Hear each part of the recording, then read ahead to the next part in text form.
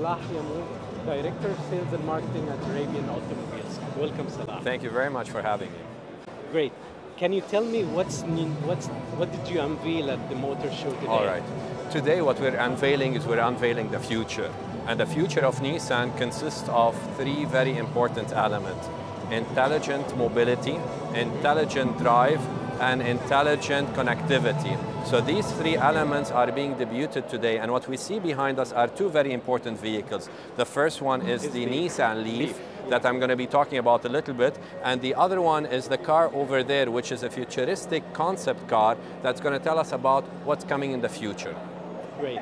Can you tell us more about the Nissan Leaf then? Why is it a special car from Nissan? All right. This is the Nissan Leaf historically has been the number one selling electrical vehicle in the world.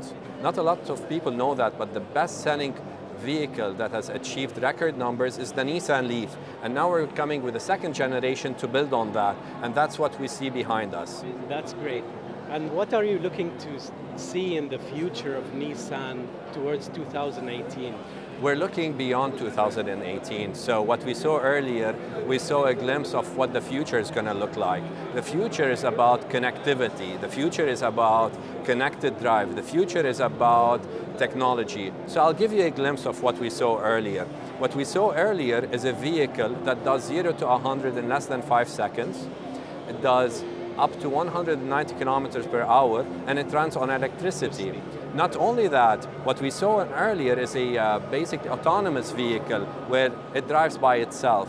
What does that mean to us? That means higher level of safety, what you're doing is you're integrating technology so that you can read information, that you can do decisions that the human mind cannot do. So what you've done is you've reduced the amount of uh, uh, sorry accidents that you're going to be have, and you're going to create safer roads. What you saw as well is an electrical vehicle yes. that runs on electricity with zero emissions. emissions. So you're addressing the challenges of the future which is pollution, which is the greenhouse effect. And third thing, it's a car which is integrated and connected. When I see connected is there's a link between the car and the human being and the surrounding around it. All right, great.